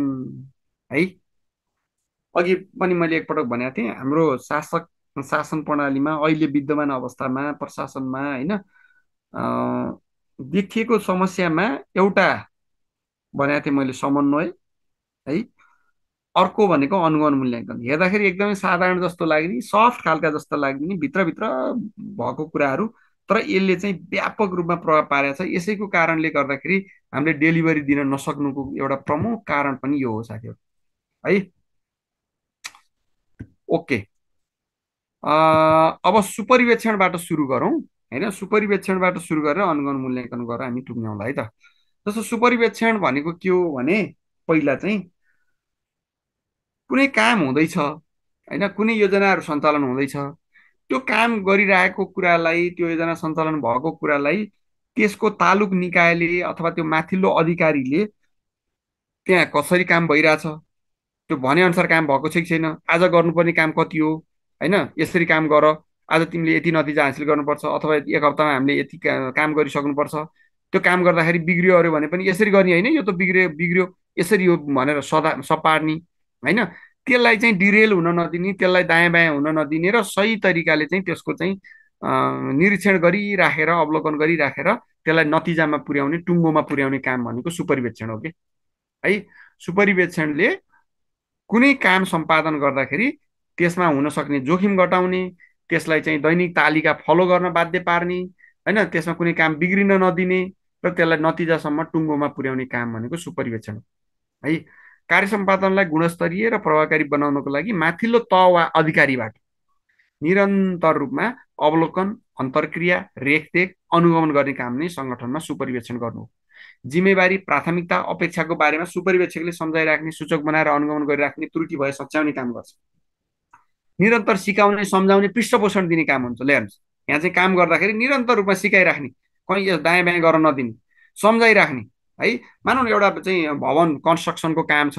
त्यहाँ चाहिँ सुपरभाइजर भनेर तोक्या हुन्छ क्या। सुपरभाइजरको काम के हो भने इन्जिनियरले बनाएको नक्सा बमोजिम काम भएको छ कि छैन? त्यहाँ झ्याल ढोक्दा ढोका राख्दाखेरि चाहिँ सही तरिकाले राखेको छ कि छैन? सही मटेरियलको प्रयोग भएको छ कि छैन? त्यहाँ मिक्सचरहरू बनाउँदाखेरि सिमेन्ट गिटी बालुवाको चाहिँ सही संयोजन भएको छ कि छैन? होइन? यस्ता कुराहरूको चाहिँ त्यहाँ निरीक्षण गरिराख्ने फिडब्याक दिइराख्ने नभएको कुरालाई ल यसरी गर्ने हो यो त बिग्रियो भनेर तत्कालै सच्याउने यस्तो कुरालाई चाहिँ सुपरिवेक्षण भनेर भनिन्छ है त? सुपरिवेक्षकको प्रत्यक्ष सहयोग निर्देशन समन्वयमा सेवा प्रवाह विकास निर्माण र कार्यालयका दैनिक प्रसारणका कामहरू सम्पादन हुन्छन् जनशक्ति स्रोत साधन प्रविधि परिचालन गुणस्तर समयावधि उपलब्धिको सुपरिवेक्षण गरिन्छ। सुपरिवेक्षण संस्थागत तौरबाट लामो समयसम्म गर्ने गरिन्छ है? यो चाहिँ संस्थागत हिसाबले गरिन्छ लामो समयसम्म निरन्तर रूपमा भइराख्ने काम हो। सुपरिवेक्षकमा समग्रमा कार्य सम्पादन नतिजाको जवाफदेही रहेको हुन्छ। सुपरिवेक्षकमा नेतृत्व गुणहरू हुन आवश्यक छ। सार्वजनिक प्रशासनमा निजामती कर्मचारी कार्य सम्पादन मूल्याङ्कन गर्दा सुपरिवेक्षकद्वारा अङ्क प्रदान गर्ने व्यवस्था छ। हाम्रो प्रशासनतिरको अभ्यास चाहिँ सुशासन ऐनमा सुपरिवेक्षकको स्पष्ट व्यवस्था रहेको छ। है सुपरिवेक्षक को हुने कसको सुपरिवेक्षक को हुने भन्ने छ है त? सर अधिकार प्रत्यायोजन व्यक्तिले पनि गर्न सक्छ भने अधिकार निक्षेपण सरकारले मात्र गर्ने हो कि? भन्नुभएको छ। सही हो तपाईँको कुरा चाहिँ सही छ। सरकारले भन्दा नि कानुनले गर्ने हो साथीहरू यो। सरकारले पनि निक्षेपण गर्ने होइन कि? कानुनले नै गर्ने हो भनेको संसदले बनाएको सोभरन का कानुनले मात्रै अधिकारको निक्षेपण हुन्छ। अधिकार प्रत्यायोजन त व्यक्तिले अधिकारीले कुनै निकायले जसले पनि गर्न सक्छ। है? सुपरिवेक्षण र निरीक्षण एउटै हो भन्नुभएको छ। होइन सुपरिवेक्षण निरीक्षण भन्दा व्यापक भयो त। निरीक्षण भनेको त त्यहाँ तत्काल अवलोकन गर्ने मात्रै भयो। सुपरिवेक्षण गर्ने भनेको त तत्काल अवलोकन गर्ने त्यसमा मार्गदर्शन गर्ने सिकाउने सघाउने होइन नतिजा हासिल गर्नेसम्मका कामहरू भयो। तर अ पार्ट अफ सुपरिवेक्षण निरीक्षण पनि हो। अब फेरि निरीक्षणलाई नै अलिकति व्यापक दायरामा निरीक्षण के को लागि त भनेर अलिकति व्यापक विस्तार गरेर भन्न चाहिँ सकिन्छ। तथापि सुपरिवेक्षण अलिकति ब्रोड सेन्समा भयो है। अब्जर्भेसन भन्दा सुपरभिजन चाहिँ ठुलो भयो। अब निर्धारित लक्ष्य उद्देश्य मापदण्ड अनुरूप कार्य सम्पादन भए नभएको विषयमा निरन्तर र समय समय गरी जाँच निरीक्षण निगरानी अवलोकन जानकारी लिनु नै अनु ए के भयो? अनुगमन आइसके चाहिँ सरी है साथीहरू यहाँ अलिकति उ भएछ मिस भएछ। मैले यहाँ स्किप गरेछु क्या। ल साथीहरू प्रब्लम ल्याउँदैन सर भन्नु ए ल एकजना साथीले राम्रो क्वेसन भन्नुभएको छ। सुपरभि सुपरभिजनले माइक्रो म्यानेजमेन्ट एन्ड लिमिटेड अटोनोमीको प्रब्लम ल्याउँदैन सर भन्नुभएको छ। अवश्य नै सबै काममा सुपरभिजन भन्ने हुँदैन। सुपरभिजनका नि फेरि अब प्रकारहरू हुन्छ नि त तपाईँको अपरेसन लेभलको सुपरभिजनमा यसरी माइक्रो म्यानेजमेन्ट गर्नु पर्ने हुनसक्छ साथीहरू होइन? तर पोलिसी लेभलको सुपरभिजनमा फेरि त्यसरी गर्नु पर्दैन क्या। पोलिसी लेभलमा टाइमली पोलिसी बन्यो कि बनेन अथवा त्यसले डिरेल हुन भयो कि भएन थिमभन्दा बाहिर गयो कि गएन अथवा उसको जुरिस्टिक्सनभन्दा बाहिर गयो कि गएन अथवा अन्तर तह समन्वय इन्ट्रा पोलिसी इन्टर पोलिसी समन्वय कायम भयो कि भएन यस्ता कुराको मात्रै सुपरभिजन गरे पुग्यो क्या त्यस्तोमा। त्यो त सिचुएसन अनुसार तपाईँको थिम अनुसार चाहिँ त्यसलाई चाहिँ युज गर्न सकिन्छ। त्यस कारणले चाहिँ तपाईँको अटोनोमी चाहिँ अलिकति लिमिटेड गर्छ त्यो चाहिँ सही हो। अटोनोमी अलिकति लिमिटेड चाहिँ गर्छ होइन? तर अटोनोमी कुन सेन्समा भन् लिनुपर्छ भने अटोनोमीलाई तपाईँले तपाईँको अधिकारलाई इन्क्रोच नगरी अधिकारलाई सही तरिकाले प्रयोग गर भन्न त पाउनुपर्छ कि? नभएदेखि चाहिँ तपाईँको अधिकारको चाहिँ मिसयुज हुने सम्भावना हुन्छ। तपाईँको सबभन्दा अटोनोमस भनेको चाहिँ सार्वभौम संसद हो। अनि सार्वभौम संसदले कानुनहरू बनाउँछ। कानुनहरू बनाउँदाखेरि पनि जनताले मिडियाले अन्य निकायहरूले सुपरभाइज गरिरहेको हुन्छन् क्या त्यहाँ चाहिँ। तिमीले बनाउने कानुनले फेरि जनताको हक अधिकार मास्न चाहिँ पाउँदैनौ है। भनेर उसको जति अटोनोमस भए पनि सबभन्दा अटोनोमस राज्यको त संसद हो नि त। त्यसलाई पनि चाहिँ सुपरभाइज गरिरहेको हुन्छ क्या। त्यस कारणले यसलाई त्यो अलिक ब्रोड सेन्समा लिँदा हुन्छ। तर तपाईँको पर्सेप्सन चाहिँ मलाई मन पर्यो। तपाईँको एनालाइसिस चाहिँ राम्रो लाग्यो है। मलाई सिआइएम फोर्टी सिक्स ट्वेन्टी फोरले लेखेको कुरा चाहिँ ठिक छ। ल अब अनुगमनमा जाउँ साथीहरू। है नीति योजना कार्यक्रमका आयोजनामा लगानी तथा साधन प्रवाह उचित ढङ्गले भए नभएको वा अपेक्षित नतिजा हासिल भए नभएको सम्बन्धमा कार्यान्वयन गर्ने निकाय र कानुन बमोजिम अधिकार प्राप्त निकायले तोकेको व्यक्ति वा संस्थाबाट निरन्तर आवधिक रूपमा गरिने निगरानी सूचना सङ्कलन विश्लेषण सुधारात्मक कार्यलाई अनुगमन भनिन्छ। है त? अब अनुगमनले चाहिँ तपाईँको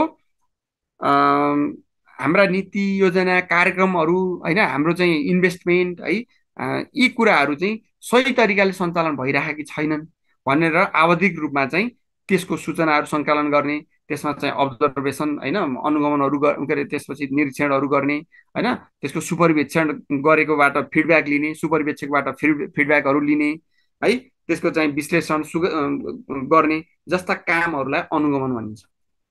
है त? तर अनुगमनमा यसमा चाहिँ तपाईँको लक्ष्यहरू तोकिएको हुन्छ होइन? निश्चित उद्देश्यहरू मापदण्डहरू तोकिएको हुन्छ अनुगमनको लागि है? अनि त्यसपछि अनुगमनले तपाईँको अलिकति चाहिँ त्यो डिरेल हुनबाट जोगाउने अनि त्यसको लक्ष्यभन्दा बाहिर दायाँ बायाँ हुन नदिने होइन तत्कालै फिडब्याक दिएर चाहिँ त्यसलाई चाहिँ ड्यामेज हुनबाट लस हुनबाट वेस्टेज हुनबाट जोगाउने कामहरू पनि गर्छ। निर्धारित लक्ष्य उद्देश्य मापदण्ड अनुरूप कार्य सम्पादन भए नभएको विषयमा निरन्तर समय समय गरी जाँच निरीक्षण निगरानी अवलोकन जानकारीलाई चाहिँ अनुगमन भनिन्छ होइन? अर्को प्याराफ्रेज भयो यसको। लागत प्रक्रिया समय उपलब्धि त्रुटि जोखिम जस्ता पक्षको पनि अनुगमन गरिन्छ होइन? प्रगतिको जानकारी लिन त्रुटि सच्याउन जोखिम घटाउन अनुशासन कायम गर्न समन्वय बढाउन दण्ड पुरस्कारको सिफारिस गर्न र उत्प्रेरणा जगाउन अनुगमन गरिन्छ। अनुगमनमा आन्तरिक र बाह्य रूपमा गरिन्छ निर्माण र सञ्चालनको चरणमा गरिन्छ प्रक्रिया र नतिजाको हुनसक्छ अनुगमन चाहिँ हेर्नुहोस्। है आन्तरिक रूपमा गर्ने भनेको कार्यालयले अथवा जुन कार्य परियोजना सञ्चालन गर्ने निकाय छ त्यसैले आन्तरिक रूपमा अनुगमन गर्न सक्छ। बाह्य रूपमा गर्ने भनेको चाहिँ तपाईँको अनुगमन गर्ने निकाय कार्यान्वयन गर्ने निकाय भन्दा बाहिरका निकायहरूले गर्यो भने त्यो बाह्य अनुगमन भयो। अब निर्माण कार्यको अनुगमन हुनसक्छ होइन? सञ्चालन निर्माणको चरणमा अनुगमन हुनसक्छ कुनै परियोजना निर्माण भयो मानौँ न एउटा खानेपानीको परियोजना निर्माण गरेको क्रममा पनि अनुगमन हुन्छ।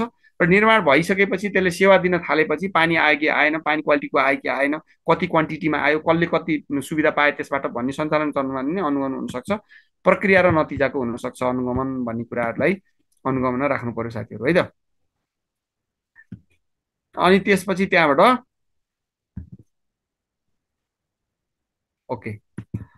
अब मूल्याङ्कन हेरौँ साथीहरू। है अनि त्यसपछि हामीले यिनीहरूको फरक पनि अलिकति हेरौँ है त। मूल्याङ्कनमा कार्यान्वयन चरणमा रहेका र सम्पन्न भएका नीति योजना कार्यक्रम र आयोजनाको सान्दर्भिकता यो नछुटाउनुहोस् होला है मूल्याङ्कनमा जसरी। सान्दर्भिकता प्रभावकारिता कार्यदक्षता र दिगोपना तथा प्रभाव गरेर पाँचवटा विषयको है। सान्दर्भिकता प्रभावकारिता कार्यदक्षता दिगोपना र प्रभावको सम्बन्धमा लैङ्गिक तथा समानताका दृष्टिले समेत आन्तरिक र बाह्य मूल्याङ्कनकर्ताद्वारा उद्देश्यपूर्ण र व्यवस्थित तरिकाले गरिएको कार्यलाई मूल्याङ्कन भनिन्छ भनेर यो चाहिँ हाम्रो योजना आयोगले बनाएको निर्देशिकाले भनेको कुरा हो साथीहरू। है क्लियर होस्। कार्यान्वयनमा च भएका आयोजना विकास आयोजना कार्यक्रमहरू वा निर्माण सम्पन्न भएका विकास आयोजना कार्यक्रमहरू नीतिहरूको सम्बन्धमा तिनीहरूको सान्दर्भिकता प्रभावकारिता कार्यदक्षता दिगोपना र प्रभावको विषयमा लैङ्गिक र समानताका दृष्टिले समेत भनेको हो यो पनि यो पनि समेत हेरेर होइन? मूल्याङ्कनकर्ताद्वारा हुने व्यवस्थित मूल्याङ्कन कार्य नै मूल्याङ्कन हो व्यवस्थित कार्य नै मूल्याङ्कन हो भनेर भनेको छ। कार्यान्वयनका सबल तथा दुर्बल पक्षबाट पाठ सुधार गर्न मूल्याङ्कन गरिन्छ। सम्बन्धित अधिकारीलाई नतिजाप्रति जवाफदेही बनाउन मूल्याङ्कन गरिन्छ। त्रुटि सच्याउन गरिन्छ। दण्ड पुरस्कार दिनलाई गरिन्छ मूल्याङ्कन। मूल्याङ्कनको प्रकारहरूमा चाहिँ पूर्व मूल्याङ्कन भन्ने हुन्छ साथीहरू। पूर्व मूल्याङ्कन भनेको कुनै आयोजना कार्यक्रमहरू चलाउन ठिक छ कि छैन भनेर पहिला नै सम्भाव्यता जाँच गर्ने कामलाई पूर्व मूल्याङ्कन भन्छ। एक्स एन्टे इभ्यालुएसन भनेर। कुनै परियोजना सञ्चालन गर्नु छ त्यसको फिजिबल त्यो फिजिबल छ कि छैन इकोनोमिकल्ली होइन? त्यसपछि त्यहाँबाट तपाईँको सस्टेनेबल छ कि छैन भाइबल हुन्छ कि हुन्न इन्भाइरोमेन्टली सस्टेनेबल छ कि छैन अथवा त्यो चाहिँ इफेक्टिभ हो कि होइन अथवा डिमान्ड बेस हो कि होइन यस्ता कुराहरूको आधारमा चाहिँ त्यसको चाहिँ सम्भाव्यता जाँच गर्ने काम चाहिँ पूर्व मूल्याङ्कन एक्स एन्टे इभ्यालुएसन हो है त? अब चालु मूल्याङ्कन भनेको फर्मेटिभ इभ्यालुएसन पनि भनिन्छ अनगोइङ इभ्यालुएसन पनि भनिन्छ। कार्यक्रम सञ्चालन भइरहेको अवधिभरमा गरिने सबै खालका मूल्याङ्कनहरू तपाईँको चाहिँ अनगोइङ फर्मेटिभ इभ्यालुएसन भयो। अब अन्तिम मूल्याङ्कन भनेको काम सकिएपछि कार्यक्रम आयोजना सकिएपछि अथवा कुनै नीति नीति लागू भइसकेपछि होइन? त्यसरी चाहिँ गरिने मूल्याङ्कनलाई चाहिँ अन्तिम मूल्याङ्कन भनिन्छ। त्यसले चाहिँ अपेक्षित आउटपुट आयो कि आएन आउटकम कस्तो हुन सक्छ यसको होइन? भन्ने कुराहरू हेर्न सक्छ। अर्को चाहिँ इम्प्याक्ट इभ्यालुएसन। त्यो काम पनि सम्पन्न भयो होइन? काम सम्पन्न भएको सर्टेन अवधिपछि त्यसले कस्तो नतिजा ल्याएछ त? त्यसको प्रभाव कस्तो भयो त? समाजमा सोसाइटीमा कम्युनिटीमा होइन अथवा त्यो लक्षित वर्गको जीवनस्तर सुधार गर्नमा त्यसले त्यो सहयोगी भयो कि भएन भनेर कुनै एउटा चाहिँ मानौँ न प्रधानमन्त्री रोजगार कार्यक्रम भन्ने छ प्रधानमन्त्री रोजगार कार्यक्रम लागू भएर दस वर्ष चलाइयो विभिन्न आयोजनाहरू चलाइयो त्यसबाट। त्यसबाट कति रोजगारी सिर्जना भयो कि भएन त्यो रोजगारीबाट जीवनस्तर बढ्यो कि बढेन रोज रोजगारी पनि कस्ता खालका भए क्वालिटीका रोजगारी हुन् कि व्हाइट कलर जब हुन् कि ब्लू कलर जब भए रोजगारीहरू त्यसबाट त्यहाँका रोजगारी पश्चात चाहिँ फेरि त्यहाँका जनताहरूले शिक्षा स्वास्थ्य आफ्नो बच्चा बच्चीहरूलाई दिन सके कि सकेनन्। अथवा आफूले चाहिँ राम्रो गुणस्तरीय खाना पानी सेवा सुविधाहरू पाउन पाए कि पाएन यस्ता प्रभावहरू लङ टर्मको प्रभावहरू समेत हेर्ने कामलाई चाहिँ तपाईँको एक्सपोस्ट अथवा इम्प्याक्ट इभ्यालुएसन भनेर भनिन्छ। है त? ओके ल अब सार्वजनिक व्यवस्थापनको अभिन्न कार्यको रूपमा अनुगमन मूल्याङ्कन रहेका हुन्छन्। सार्वजनिक निकायका अनुगमन मूल्याङ्कन गर्ने निकायहरूमा प्रधानमन्त्री कार्यालय मन्त्रालयहरू समुदाय निकायहरू बोर्ड प्राधिकरणहरू परिषदहरू प्रदेश र स्थानीय तहहरू रहेका छन्। सबैले अनुगमन मूल्याङ्कन गर्छन् होइन? एउटा आन्तरिक हुन्छ एउटा बाह्य हुनसक्छ। त्यसै गरी विज्ञ टोली समिति एमड्याक एन्ड्याक मार्फत समेत अनुगमन मूल्याङ्कन हुन्छ। नेपालमा नीति योजना कार्यक्रमको प्रभावितता न्यून हुनुमा अनुगमन मूल्याङ्कनमा रहेका कमजोरीहरू समेत जिम्मेवार छन् भनेर भनियो। यसमा चाहिँ जस्ट इन केस अलि टेक्निकल तरिकाले तपाईँहरूलाई क्या टेक्निकल्ली के हो त फरक भनेर अनुगमन मूल्याङ्कनमा सोधियो भने मैले भन्थेँ नि म्याक्रो एप्रोचमा चाहिँ अलिअलि मिल्दोजुल्दो हुन्छ नि यिनीहरूलाई सँगसँगै पनि राखिन्छ। तर माइक्रो एप्रोचमा अनुगमन मूल्याङ्कनमा फरक हुन्छ। ल हेरौँ यहाँ के के फरक छन् त भनेर है त। कार्यान्वयन अवधिभर निरन्तर पटक पटक गरिने योजना चक्रको एक चरण हो आन्तरिक काम हो यो अनुगमन चाहिँ है? कार्यान्वयन अवधिभर निरन्तर वा पटक पटक गरिन्छ यो योजना चक्रको चरण हो आन्तरिक काम हो। मूल्याङ्कन चाहिँ चार चरणमा गरिन्छ भने माथि ठ्याक्कै छुट्याइयो नि त हामीले होइन? मूल्याङ्कन चार चरणमा गरिन्छ भनेर चाहिँ चारवटा चरण हुन्छन् मूल्याङ्कनका। निर्माण चरण र सञ्चालन चरणमा मात्र हुन्छ अनुगमन है? अब यो चाहिँ छनौटमा पनि मूल्याङ्कन हुन्छ। अगाडि नै प्रि मूल्याङ्कन भन्ने अघि हेऱ्यो नि एक्स एन्टी भनेर होइन? सञ्चालन सो पश्चात पनि एक्सपोस्ट समेत हुनसक्छ। निर्माण र सञ्चालन चरणमा देखिए कम कमजोरलाई सुधार गर्न र संस्थागत रूपमा यो अनुगमन गरिन्छ। निर्माण र सञ्चालनमा सुधार गर्ने कार्यान्वयनका लागि कमी कमजोरी आगामी दिनमा हुन नदिन पृष्ठपोषणको लागि पनि मूल्याङ्कन गरिन्छ होइन? लगानी प्रक्रिया प्रतिफलसँग सम्बन्धित हुन्छ अनुगमन भने पूर्व निर्धारित लक्ष्य उपलब्धिको स्थिति र यसले पारेको आर्थिक सामाजिक प्रभावसँग सम्बन्धित हुन्छ मूल्याङ्कन। विकास व्यवस्थापन प्रणालीको प्रक्रिया हो विकास व्यवस्थापन सुधार गर्ने औजार हो। सामान्यतया कार्यान्वयन गर्ने निकायबाट धेरै जसो अनुगमन चाहिँ कार्यान्वयन गर्ने निकायबाट हुन्छ तर मूल्याङ्कन चाहिँ प्रायः जस्तो चाहिँ तपाईँको स्वतन्त्र निकायबाट मूल्याङ्कन गर्नु गर्नुपर्छ। त्यही नै भ्यालिड मूल्याङ्कन हो क्या वास्तवमा। आफैले काम गरेर आफैले मूल्याङ्कन गरेकोलाई भ्यालिड चाहिँ मान्न गाह्रो हुन्छ। आन्तरिक रूपमा भ्यालिड हुन्छ तर सर्वपक्षीय भ्यालिडिटी पाउन गाह्रो हुन्छ। स्वतन्त्र निकायले तिमीले गरेको ठिक छ भनिदिनै पर्छ क्या। त्यो हाम्रो चाहिँ तपाईँको अडिट गराउने कामहरू पनि मूल्याङ्कनकै कामहरू हुन् होइन? तिमीले गरेको ठिक छ कि छैन भनेर मूल्याङ्कन गर्ने हो वार्षिक रूपमा। लगायतका कुराहरू भयो है त। सार्वजनिक प्रशासनमा अनुगमन र मूल्याङ्कनका समस्याहरू के छन् त भनेर हेरौँ साथीहरू। व्यवस्थापनले न्यून प्राथमिकतामा राखेको छ। यो अनुगमन मूल्याङ्कनको प्राथमिकता असाध्यै न्यून छ। औपचारिकतामा सीमित छन् यी कामहरू। पृष्ठपोषणको प्रभावकारिता उपयोग गरिँदैन। अनुगमन मूल्याङ्कनमा जनशक्ति एवं संयन्त्र कमजोर छन्। समन्वय सञ्चार सूचना प्रविधिको प्रयोग न्यून छ। तथ्य प्रमाण सूचनामा आधारित भन्दा अनुमानमा आधारित छन् यी कामहरू। नतिजामूलक पद्धति स्थापित हुन सकेको छैन। उत्तरदायित्व कार्य सम्पादन सूचकसँग जोडिएको छैन भन्ने लगायतका छन्। सुझावहरू पनि केही दिन सकिन्छ साथीहरू यसैको आधारमा।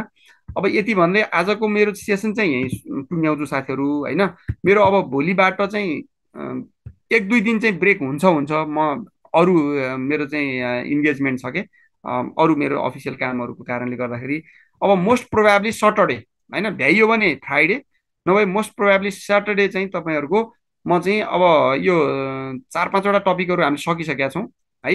यीबाट आएका लोकसेवा आयोगमा सोधिएका सबै प्रश्नहरूको एकपल्ट सरस्वती मैले हेरेर त्यसको चाहिँ एउटा कन्स्ट्रक्सन उदाहरण तपाईँलाई त्यसलाई कसरी ट्याकल गर्ने कसरी एड्रेस गर्ने कसरी संक्षिप्त सरल र भ्यालिड वेमा लेख्ने भन्ने कुरा हामी छलफल गर्छौँ र चाहिँ कम्तीमा एउटा क्वेसन चाहिँ सेक्योर गर्छौँ। यति पढ्दा ओर्दा चाहिँ तपाईँहरूले एउटा क्वेसन फोर्थ पेपरको फर्स्ट च्याप्टर एउटा क्वेसन चाहिँ कन्फर्म सेक्योर गर्नुहुन्छ। है त साथीहरू ल ल नोट चाहिँ अब तपाईँको अहिले नै मैले सेयर गरिदिने हालेँ। मोस्ट प्रोभाब्ली हाम्रो चाहिँ म्यानेजमेन्ट टिमबाट पनि अहिले नै तपाईँहरूलाई नोट सेयर पनि हुन्छ भन्ने जानकारी गराउँदै म तपाईँहरूबाट बिदा माग्न चाहेँ। गुड नाइट टेक केयर शुभरात्री। साथीहरू सबैलाई नमस्कार छ।